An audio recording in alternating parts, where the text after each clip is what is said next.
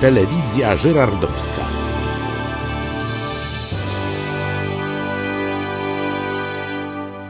Zapraszamy.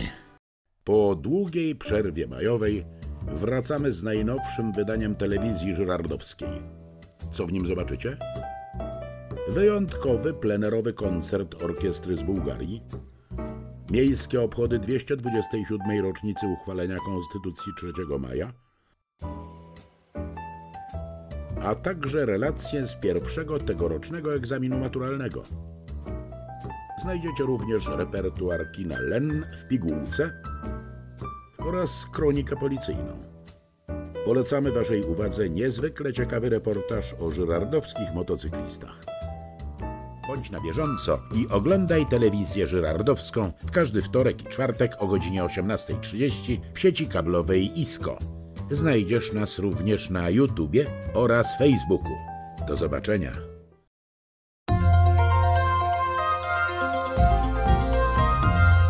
To był tydzień. Podsumowania najciekawszych i najważniejszych wydarzeń ubiegłego tygodnia rozpoczynamy od relacji z wyjątkowej sesji zdjęciowej promującej adopcję zwierząt. Projekt autorstwa pracowników i wolontariuszy żerardowskiego schroniska ma na celu uświadomienie, że każdy, bez względu na wykonywany zawód, może adoptować bezdomne zwierzę. Udział w projekcie wzięli przedstawiciele różnych grup społecznych, którzy pozowali z podopiecznymi schroniska imienia Psa Kazana. Jak Ci się podobała dzisiejsza sesja zdjęciowa? Była bardzo ciekawa. Bardzo mnie to cieszy, że była z psami. A jak Ci się pracowało m, ze zwierzęciem? Było to trudne zadanie? Dość trudne. A Ty przedstawiałaś jakieś figury? Na czym polegał Twój udział w tej sesji? Na tym, żeby. To polega na tym, że reklamujemy tak, że każdy zawód, każdy może mieć swojego wymarzonego pupila. A dlaczego według Ciebie warto jest adoptować, a nie kupować zwierzęta?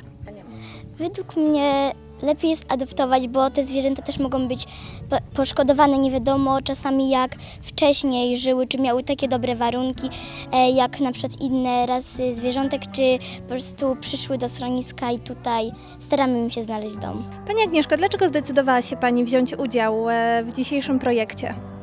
Wydaje mi się, że wszystkie takie akcje, które promują i schronisko, i zwierzaki bezdomne e, są dobre i warto w nich brać udział. Pokazują one, że każdy tak naprawdę może adoptować psa, nawet jeżeli bardzo długo pracuje, jeżeli je, e, ma nie wiem, jakąś ciężką pracę, e, to tak czy inaczej znajdzie trochę czasu, a, a psiaki są w stanie bardzo dużo dać od siebie, nawet jeżeli są przez 10 godzin czy 12 zamknięte w domu, to jeżeli człowiek do nich wróci, wyjdzie z nimi na spacer, pobawi się, spędzi z nimi czas, to jest na pewno dla nich lepsze niż schroniskowy boks. E, No i tak jak mówię, nawet jeżeli ktoś ma pracę, która bardzo dużo czasu zajmuje, to e, warto się zaopiekować takim psiakiem. Na co dzień e, bardzo dużo czasu spędza Pani ze zwierzętami przez wzgląd na wykonywany zawód. A jak się Pani współpracowało dzisiaj z psem w zupełnie innych okolicznościach? Zdecydowanie lepiej. Niestety psiaki nie doceniają naszej pracy, jaką wykonujemy w przychodniach weterynaryjnych. Tam najczęściej jest, są zastrzyki, badania, są przytrzymywane, więc e, tam unikają kontaktu z lekarzem. Natomiast tutaj w zupełnie takich luźnych warunkach, kiedy można wziąć na spacer, pobawić się, e, to zupełnie inna jest reakcja i zupełnie inne są relacje e, z psem. Akurat Barego bardzo dobrze znam i jest to bardzo żywiołowy psiak, e, który nawet na chwilę nie potrafił siedzieć, natomiast e, dzisiaj bardzo dobrze współpracował i e, chętnie pozował do zdjęć. Pozowanie ze zwierzętami nie należy do łatwych zadań, choć to fotografowie mieli przed sobą największe wyzwania. Na czym polega główna trudność, jeśli chodzi o fotografowanie zwierząt? No bo nie zawsze są to no, tacy satysfakcjonujący modele. Y, Ciężko psa ustawić powiedzmy w kadrze, żeby dobrze wyszedł. Naj, najciężej jest nam czasami, masz jakiś pomysł, jakąś wizję czegoś, natomiast pies pokazuje ci coś zupełnie innego. Okazuje się, że on ma zupełnie inny pomysł e, i e, zdjęcie, które by się wydawało, e, naciskam, robię i jest gotowe. Czasami szykujemy po 40 godzinę 40, dlatego że pies się kręci w kółko, musi obwąchać wszystko. To są psy schroniskowe, które na co dzień siedzą zamknięte, więc w momencie, kiedy je wypuszczamy, no one muszą wszystkie zapachy poznać i sam ten proces proces czekania, aż ten pies się nawącha, że tak powiem, uspokoi i pozwoli ze sobą popracować. Także cierpliwość tutaj ogromna. Nam zależy na tym, żeby jak najwięcej zwierzaków znalazło nowe domy, czyli no tutaj też inne troszeczkę spojrzenie będzie, tak? Zobaczymy, co nam z tego wyjdzie. Mamy nadzieję, że jak najwięcej nowych domów dla naszych podopiecznych. Efekty sesji zdjęciowej możecie zobaczyć na facebookowym profilu Żyrardowskiego Schroniska dla Bezdomnych Zwierząt. Zachęcamy wszystkich do adoptowania uroczych podopiecznych placówki. W ubiegły wtorek, 1 maja, mieliśmy przyjemność uczestniczyć w wyjątkowym koncercie, który odbył się w samym centrum naszego miasta. Tego wieczoru plac Jana Pawła II rozbrzmiewał niezwykłymi bułgarskimi dźwiękami. Dla żyrardowskiej publiczności wystąpiła młodzieżowa orkiestra Denta Litakowo. W repertuarze znalazły się pieśni ludowe z folkloru bułgarskiego, utwory muzyki współczesnej i muzyka filmowa. Młodzieżowa bułgarska orkiestra znana jest i ceniona na arenie międzynarodowej. Ma na swoim koncie wiele nagród oraz grono wiernych fanów na całym świecie, do których dołączyli mieszkańcy Żyrardowa. Swoje tournée po Polsce orkiestra rozpoczęła koncertem w Łazienkach Królewskich w Warszawie. Dla tych, którzy nie mieli okazji wysłuchać tego fantastycznego zespołu, prezentujemy krótki fragment. Posłuchajcie.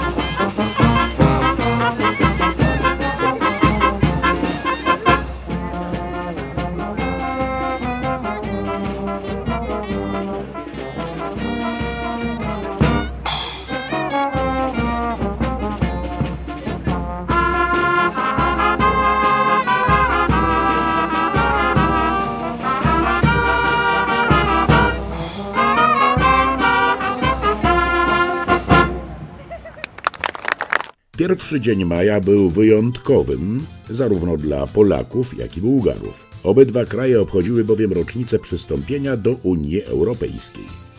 Koncert Młodzieżowej Orkiestry Dentej Litakowo stanowił kolejny przejaw dynamicznie rozwijającej się współpracy Żerardowa i Bułgarii. 1 maja uczciliśmy tutaj z Orkiestrą Młodzieżową z Bułgarii. Bardzo się cieszę dzięki uprzejmości pana ambasadora, dlatego podziękowania dla pana ambasadora, dla całej ambasady, dla pana wiceambasadora Iwana Kitowa, że zawsze jest tutaj z nami. Można powiedzieć, że każde wydarzenie, jakie jest z takiej rangi międzynarodowej. E, Pan ambasador jest tutaj z nami, Żylardów już zna dobrze. E, e, Przejdziemy teraz do resursy z naszymi przyjaciółmi z Bułgarii. Chcą jeszcze zobaczyć nasz zabytkowy obiekt, a dzisiaj dali popis na powietrzu. Też było to zaskoczeniem, bo przyjechałem dzisiaj do Centrum Kultury, a widzę, że o wpół do siódmej już cała reorganizacja. Wszyscy przenoszą mm, sprzęty i wyposażenie i, i siedziska, i krzesła, i leżaki, i koce na trawę. To było bardzo fajne, przyjemnie. E, Myślę, że naszym mieszkańcom e, spodobała się taka forma e, rekreacji, ale też imponujące było to, że dobrze się czuli nasi goście z Bułgarii, bo dzisiaj rano grali w Łazienkach Królewskich i jutro również zagrają koncert. Dlatego dla nas jest to zaszczyt, że mogli dzisiaj w tym, wieczo- w tym wieczorze uczestniczyć w Żardowie. Nasze miasto odwiedził wiceambasador Bułgarii w Polsce Iwan Kitow, który z ogromną dumą słuchał koncertu w wykonaniu swoich młodych rodaków. А Dzisiejsza orkiestra młodzieżowa Dente z miasta Botewgrad e, działa od e, 2012 roku. E, Jest e, bardzo dobra orkiestra i już ma występy nie tylko w Bułgarii i za granicą. E, Dzisiaj e, odbyło się wydarzenie również e, w Łazienki Królewskich. A teraz jesteśmy w, miast, w mieście Girardów, gdzie nam bardzo się podoba. Następnego spotkania będzie 25 czerwca. Będzie młodzieżowa orkiestra Denta z miasta Trojan. I to będzie e, takie wydarzenie, które będziemy łączyć z prezydencji Bułgarii w Radzie Unii Europejskiej. I e, jeszcze e, będziemy e, świętować e, święto Bułgarii, które akurat obchodzimy 25 5 czerwca. Kolejny raz żyrardowianie mieli sposobność poznać bliżej bułgarską kulturę. Czekamy na kolejne tak interesujące wydarzenia. To był wyjątkowy muzyczny wieczór. W ubiegły czwartek obchodziliśmy 227. rocznicę uchwalenia Konstytucji 3 maja. Jak co roku, nasze miasto zadbało o to, aby jedno z najważniejszych świąt w polskim kalendarzu obchodzone było w wyjątkowy sposób. Miejskie obchody zainaugurowały uroczystości na placu Jana Pawła II, które odbyły się z udziałem asysty honorowej, trzeciej Warszawskiej Brygady Rakietowej Obrony Powietrznej oraz Orkiestry Ochotniczej Straży Pożarnej Nadarzyn. Obchody uświetnili swą obecnością przedstawiciele środowisk kombatanckich, samorządu miasta i powiatu, organizacji społecznych i politycznych, służb mundurowych, a także młodzież szkolna i harcerze. Apel rozpoczął się wzniesieniem flagi państwowej na szczyt masztu oraz odśpiewaniem hymnu narodowego. Gospodarz naszego miasta, prezydent Wojciech Jasiński, tradycyjnie wygłosił okolicznościowe przemówienie. Zwracam się szczególnie do wszystkich mieszkańców naszego miasta. To nasze święto. Uczmy się świętować razem. Bez jakichkolwiek podziałów. Bez podziałów na poglądy polityczne, różnice wyznaniowe i inne przekonania, które mogą w jakikolwiek sposób poróżnić nasze społeczeństwo, naszą małą ojczyznę, nasz Żyrardów. Tradycyjnie też już kompania wojskowa wystrzeliła salwę w niebo, aby uczcić święto Konstytucji 3 maja. Na zakończenie uroczystości orkiestra OSP Nadarzyn pokazała naszym mieszkańcom swoje możliwości i udowodniła, że zdecydowanie zasługuje na tytuł Mistrzów Polski we wszystkich kategoriach, programie koncertowym, przemarszu oraz mustrze paradnej. Żyrardowianie nagrodzili artystów gromkimi brawami. Orkiestra zapewniła także oprawę muzyczną podczas uroczystej mszy świętej, która odbyła się w kościele pod wezwaniem Matki Bożej Pocieszenia w Żyrardowie. Od godziny 13 na mieszkańców naszego miasta czekało wiele atrakcji w ramach drugiego już pikniku historycznego. Żyrardowianie mieli okazję wspólnie śpiewać pieśni patriotyczne w trakcie koncertu prowadzonego przez Krzysztofa Gwiazdę i Karinę Bożądek. O oprawę muzyczną zadbał chór miasta Żyrardowa przy akompaniamencie Sary Nowakowskiej. Piknik historyczny obfitował w wiele ciekawych atrakcji. Odbywały się bowiem pokazy i nauka dawnych tańców, pokaz flagowy czy warsztaty niepodległościowe dla dzieci. Pikniki historyczne w Żerardowie weszły już w jakby tradycję, nową tradycję. Powróciły na, na, na plac Jana Pawła II do Żerardowa. Prezydent Wojciech Jasiński, gdy został tylko prezydentem, podjął taką stosowną, jak rozumiemy i y, dostajemy informacje od mieszkańców, decyzję, że tego typu wydarzenia są nam bardzo potrzebne. E, Rok 2018 w naszej historii, nie tylko miasta, ale i Polski, jest rokiem szczególnym. Stąd e, w roku 2018 piknik na placu Jana Pawła II 3 maja w sposób szczególny wyróżnia stulecie odzyskania przez Polskę niepodległości. Przed chwilą na scenie e, przygotowanej przez Centrum Kultury mieliśmy, mogliśmy słyszeć i śpiewać wspólnie pieśni patriotyczne, pieśni narodowościowe. Cały, cały śpiewnik wyśpiewał również pan prezydent Wojciech Jasiński. To taka nowa e, nowinka. E, Możemy tutaj spotkać się całymi rodzinami. Po co się spotkać? Po to, żeby zauważyć barwy biało-czerwone, żeby porozmawiać o tym, co dla miasta najważniejsze, poznać, poznać w jaki sposób można zrobić kotylion i co to jest tak naprawdę kotylion pod namiotem miejskim, m, pod innymi namiotami można wybić specjalnie przygotowaną monetę. Wszystkie atrakcje, wszystkie atrakcje Sokolnik, e, animacje z gliny i wiele, wiele, wiele innych zajmujące cały plac Jana Pawła II przez kilka godzin 3 maja. To atrakcje przygotowane przez magistrat, miejskie instytucje, miejską instytucję kultury. Wszystkie oczywiście bezpłatne dla, dla wszystkich naszych mieszkańców, dla wszystkich turystów. Spotykamy się tutaj z dużym zadowoleniem, z bardzo pozytywnymi komentarzami. Już drugi rok z rzędu tak duży piknik historyczny e, myślę, że przyniesie bardzo wiele korzyści dla, dla, każdego, dla każdego, kto nas tylko zdecyduje się odwiedzić i zdecydował się odwiedzić. Każdy żyrardowianin miał niepowtarzalną okazję wybić swoją własną okolicznościową monetę, poznając przy okazji dawny zawód mincerza. Moneta składa się z dwóch części, są dwie płaszczyzny, e, awers, rewers. I aby była ona odpowiednio wykonana, trzeba dość precyzyjnie przygotować matrycę. E, Jedna część matrycy jest za, e, zamontowana tutaj w tej tulei w środku, drugą mamy na zewnątrz. Wkładamy krążek. Dawniej e, krążek zazwyczaj miał wartość sam w sobie, ponieważ był wykonany z kruszcu srebro lub złoto.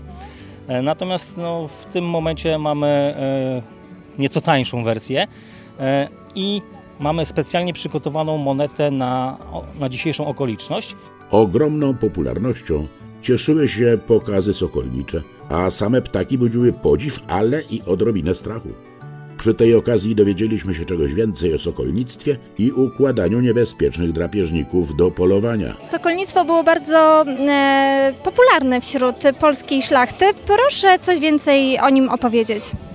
Tak, y, ma Pani rację. Y, Od średniowiecza aż do XVII wieku włącznie w Polsce sokolnictwo było uprawiane powszechnie przez wyższe stany y, naszej, y, naszego kraju. Y, Polowano z sokołami, polowano z jastrzębiami, polowano również z orłami, ale bardzo rzadko. Układanie ptaków drapieżnych do łowów, bo taka jest definicja właśnie sokolnictwa, e, polegało na tym, żeby ptaka przekonać do siebie, żeby e, wywoływać w nim same pozytywne e, odczucia i wrażenia. E, Takiego ptaka nie można skarcić, nie można e, go szarpnąć za smycz, e, czy też wykonać jakichś innych nieprzyjemnych dla niego rzeczy, bo po prostu nie będzie chciał z nami współpracować. Więc tylko drogą pozytywnych e, wzmocnień, przede wszystkim pokarmowych, osiągano ten cel. No i wielogodzinne, wielogodzinne przebywanie. Dlaczego zasłaniacie e, sokołom, orłom oczy? Tak, aby troszeczkę e, zmniejszyć liczbę bodźców, które do nich dochodzą. Dzięki temu ptaki są spokojniejsze, e, nie zrywają się, nie męczą się niepotrzebnie. A w tej chwili widzi Pani właśnie kolega tutaj orłu zdjął e, kaptur, czyli karnal, tak nazywa się to w języku e, sokolniczym i można spojrzeć orłowi głęboko e, w oczy. E, Czy sokolnictwo było popularne też przez wzgląd na polowania, e, no, bez których mogę zaryzykować takie stwierdzenie, szlachta nie mogła się obyć?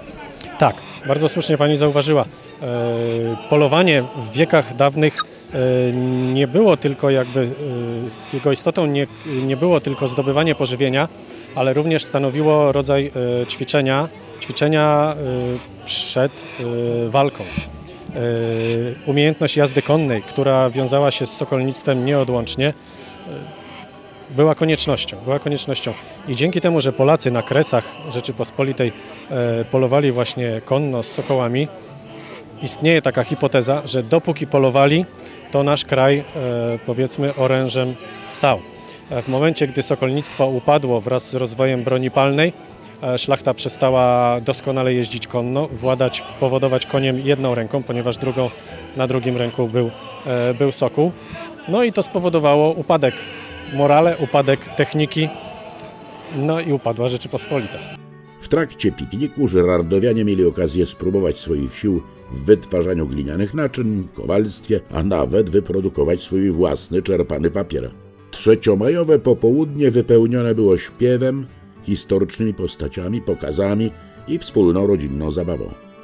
Taka forma czczenia świąt narodowych zapoczątkowana została przed kilkoma laty i stała się już tradycją w naszym mieście. Ta e, historia jest potrzebna. 227. rocznica ustanowienia konstytucji przez króla i przez Sejm no, jest bardzo ważna. Jest bardzo dziękuję e, trzeciej brygadzie e, powietrznej z Sochaczewa.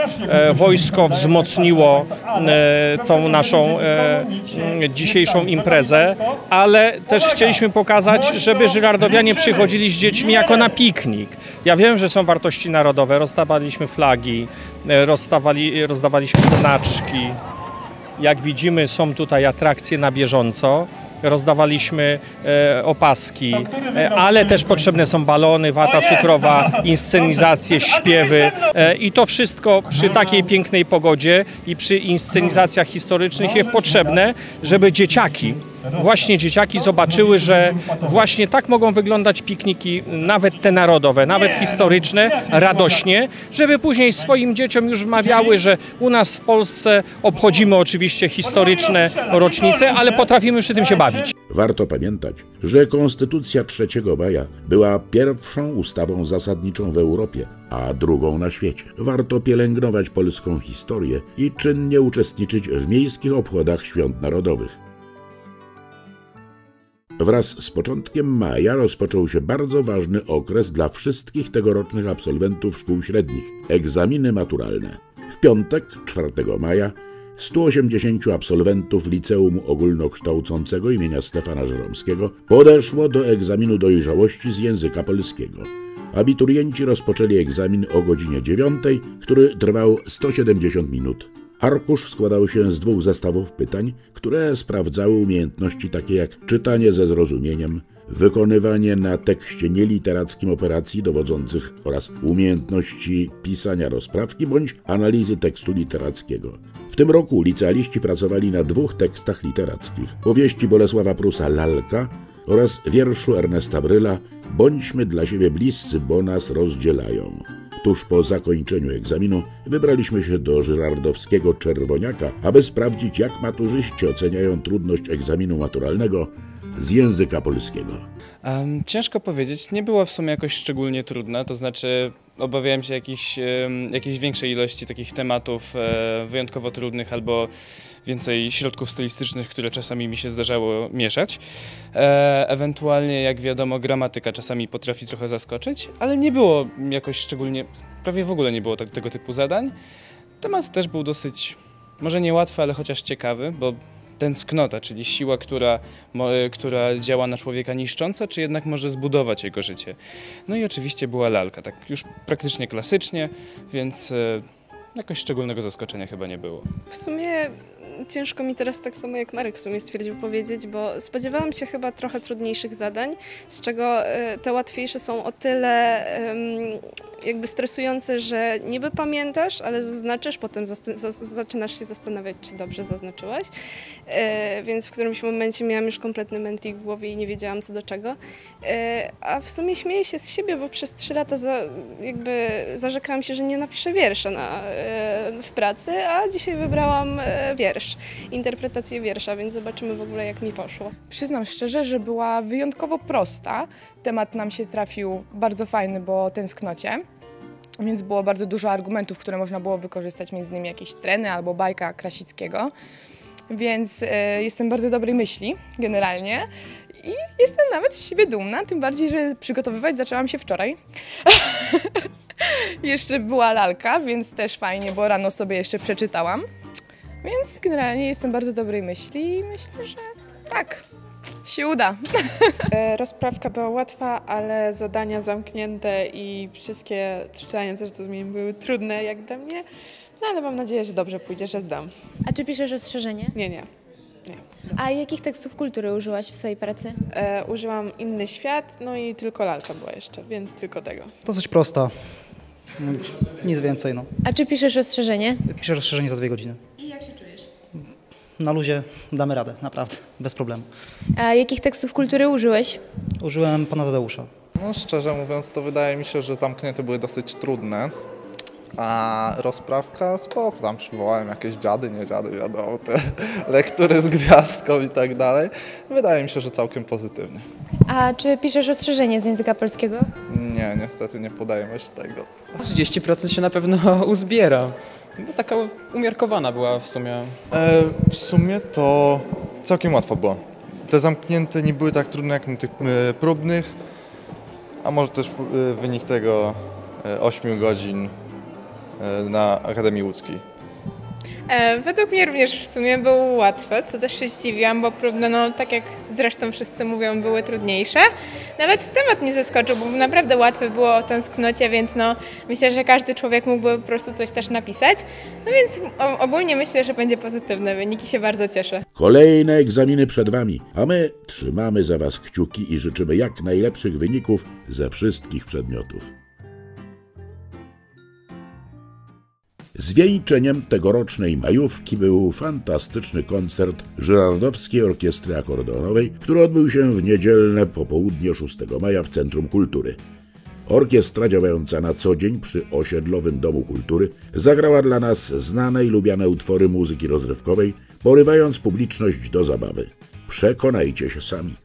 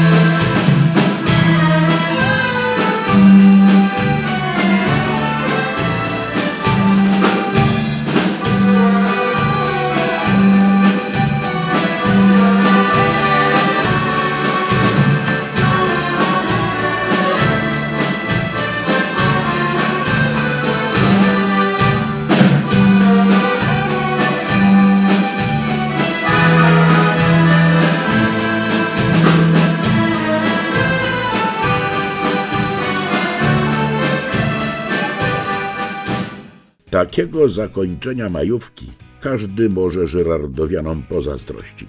To było fantastyczne popołudnie, które z pewnością stanowiło potężny zastrzyk energii. Dziękujemy artystom i liczymy na kolejny koncert.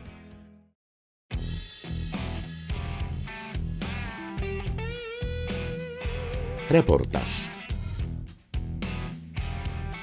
Słoneczne i pogodne dni dały możliwość wyjechania na ulicę miłośnikom jednośladowców, którzy długo wyczekiwali tegorocznego otwarcia sezonu.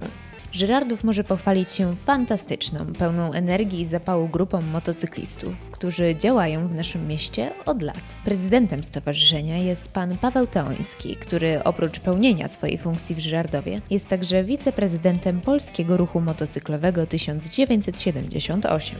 Od kiedy istnieje klub? Od 2009 roku, 9 lat. W przyszłym roku będziemy obchodzili dziesięciolecie klubu. W jaki sposób jest prowadzony nabór do Waszej grupy?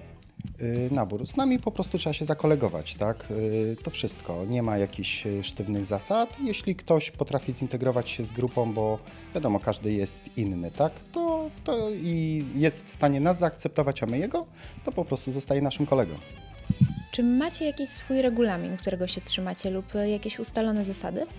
To znaczy tak, mamy statut, y, który jest y, zarejestrowany, bo jesteśmy stowarzyszeniem, ale regulamin i zasady to są takie ogólnie przyjęte w międzyludzkie, tak? Nie ma jakiegoś takiego, że od do obowiązków i tym podobne. Znaczy są jakieś, każdy w grupie ma jakąś podzieloną podzielone obowiązki, tak? Jest skarbnik, jest sekretarz, który się zajmuje dokumentami, ja jestem prezydentem, także każdy, każdy gdzieś tam czymś się zajmuje, ale nie jest to jakieś tam y, bardzo rygorystyczne, tak? Jak często organizujecie y, zloty i jak dalekie trasy odbywacie? Y. Zlotów nie organizujemy jako takich. Organizujemy często spotkania, co najmniej 2-3 razy w roku dla motocyklistów tutaj z Żyrardowa i też dla motocyklistów z okolic.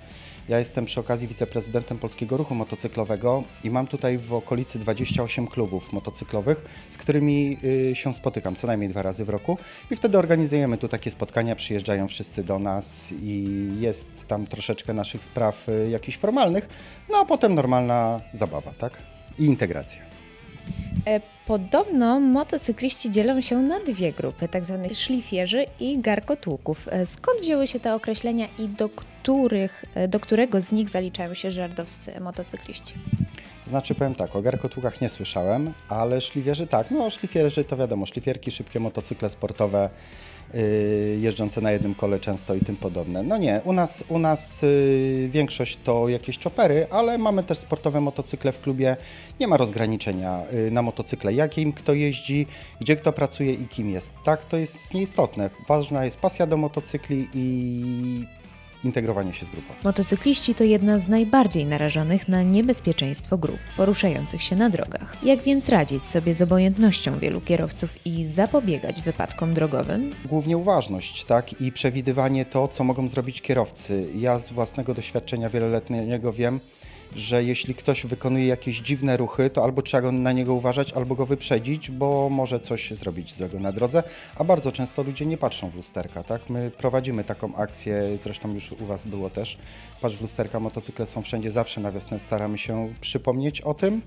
No i w ogóle świadomość y, ludzi jest coraz większa jeżdżących samochodami, ale też y, bardzo dużo osób jeździ, zaczyna jeździć motocyklami. To jest naprawdę y, bardzo dużo bardzo duża ilość większa jest tych motocyklistów, więc y, świadomość jest coraz większa i jest coraz lepiej. Myślę, że jest coraz lepiej. No właśnie, skoro jesteśmy przy temacie bezpieczeństwa, to chciałabym się zapytać, czy wystarczy założyć zwykłe dżinsy i koszulkę, y, aby móc poruszać się na motocyklu, czy trzeba mieć do tego odpowiedni, odpowiednio przystosowany strój? Yy, powiem tak, lepiej nie. Lepiej nie. Yy, oglądałem teraz kiedyś testy, nie będę mówił firmy, żeby nie było reklamy.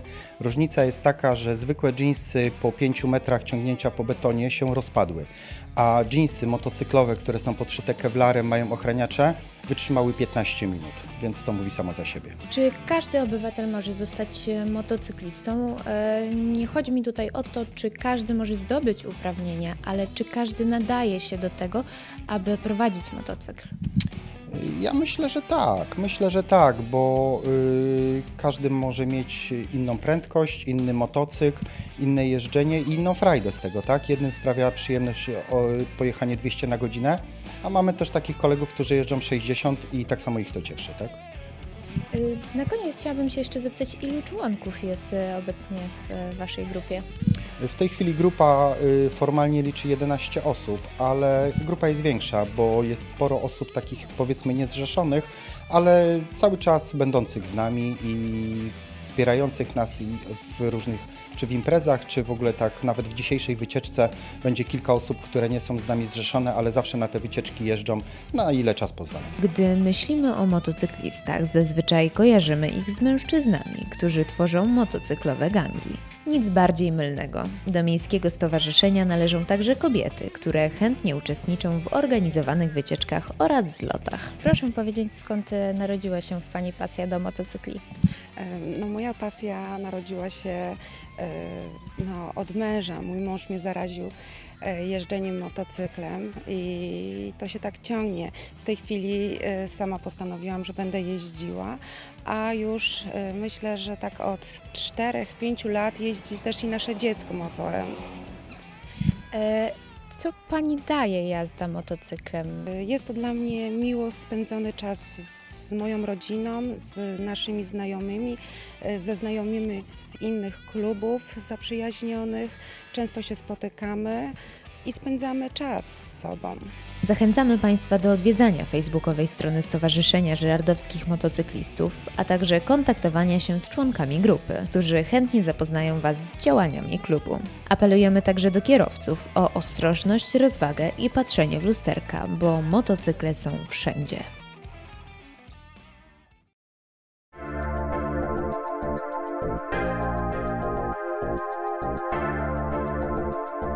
Kronika policyjna. Pani aspirant, proszę o podsumowanie ostatnich wydarzeń w naszym mieście. E, W minionym tygodniu działania policjantów skupiły się przede wszystkim na bezpieczeństwie podczas działań długi weekend. Wiadomo, że ostatnie dni były wzmożonymi dniami e, wypoczynku. E, Niestety na drogach naszego powiatu doszło aż do trzech wypadków, w których rannych zostały cztery osoby, a także aż do 30 kolizji. E, W ciągu tego tygodnia policjanci zatrzymali także e, dziewięciu nietrzeźwych kierujących. Czterech z nich byli to rowerzyści. E, Dwóch kierowców popełniło wykroczenie, a kolejnych trzech popełniło przestępstwo i odpowiedzą przed sądem.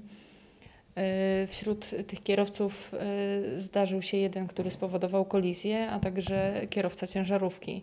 Dlatego jeszcze raz apelujemy, aby nie wsiadać za kierownicę na podwójnym gazie. W miniony weekend e, zdarzył się ta, zdarzyło się także potrącenie rowerzysty. E, Kilkunastoletnie dziecko jadąc chodnikiem wjechało nagle na jezdnię wprost pod nadjeżdżający samochód. Na szczęście nic mu się nie stało, jednak e, warto pamiętać, że przypominanie dzieciom o prawidłowych zachowaniach na drodze jest bardzo ważne. E, Jakie działania prewencyjne podejmuje żyrardowska policja?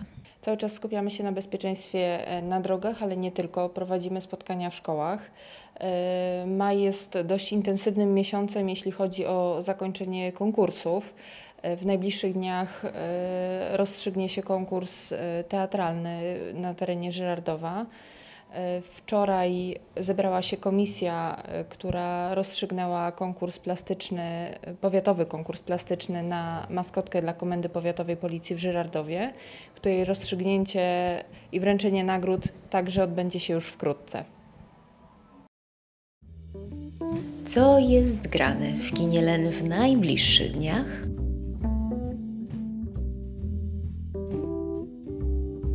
Poznajcie Benka, przesympatyczną gęś. Kaczki z gęsiej paczki to historia skierowana dla naszych najmłodszych widzów. Opowiada historię gęsi, która od ćwiczeń przed emigracją woli podniemne akrobacje. Seanse odbędą się w piątek 11 maja o 15 i 16.45, niedzielę 13 maja o 12 i 14, poniedziałek 14 maja o 17.20 oraz 15 maja o 16. Twarz to dramat w reżyserii Małgorzaty Szumowskiej. Opowiada historię Jacka, który przybywa do swojego rodzinnego miasteczka po przymusowej rekonstrukcji tytułowej twarzy. Seanse odbędą się 11 maja o 18.30, 13 maja o 16.00, 14 maja o 19.10 oraz 15 maja o 17.45. Nikt nie lubi mówić o swoich porażkach. Nam udało się przekonać kilku piłkarzy Brondby do podzielenia się z nami swoimi wspomnieniami. Tak o swojej najnowszej produkcji mówią sami autorzy Brondby. Nasza Ziemia Obiecana. Film ten będziecie mogli zobaczyć w żyrardowskim kinie Len 11 maja o 20.15 oraz 13 maja o 20.10. Fani kina kryminalnego również znajdą w tym tygodniu coś dla siebie. Dziewczyna we mgle to opowieść o agencie specjalnym, który bada sprawę zaginionej szesnastolatki. Film będziecie mogli zobaczyć już w piątek, 11 maja o 21.15, 13 maja o 17.45, 14 maja o 21.00 oraz we wtorek, 15 maja o 19.30. Bilety na wszystkie seanse możliwe są do kupienia tradycyjnie w kasie Kinalen, która czynna jest od poniedziałku do piątku od godziny 14 oraz w weekendy na godzinę przed pierwszym seansem. Za pośrednictwem strony internetowej www.kinolen.pl kupicie bilety online.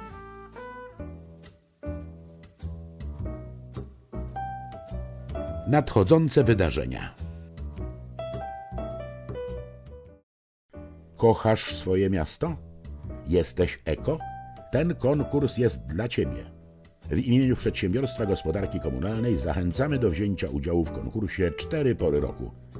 Dostarcz do siedziby spółki rysunek przedstawiający nasze miasto podczas czterech pór roku i zgarnij ciekawą nagrodę. Prace zbierane są do 21 maja. Śpiesz się i rysuj. Kupiłeś nowy sprzęt i nie wiesz, co zrobić ze starym? Pamiętaj, że jako mieszkaniec Żyrardowa możesz oddać niepotrzebny sprzęt oraz odpady poremontowe do punktu selektywnej zbiórki odpadów komunalnych. Raz na kwartał pracownicy spółki odbierają również odpady wielkogabarytowe w ramach stałej opłaty abonamentowej. Szczegóły znajdują się na stronie internetowej PGK Żyrardów. Prezydent miasta Żyrardowa zaprasza wszystkich mieszkańców na wieczór pamięci Stanisława Misakowskiego, który był wielką, tragiczną postacią literatury polskiej. Zachęcamy do uczestniczenia w 45. edycji poetyckich wieczorów podwójnych, które odbędą się 17 maja o godzinie 18 w Centrum Kultury w Żyrardowie. Wstęp wolny. Szkoła podstawowa nr 1 z oddziałami integracyjnymi i dwujęzycznymi imienia Filipa de Girarda w Żyrardowie zaprasza uczniów do klasy siódmej oddziału dwujęzycznego w roku szkolnym 2018-2019. Wnioski składać można w dniach od 7 do 18 maja bieżącego roku. Bliższych informacji udziela sekretariat szkoły.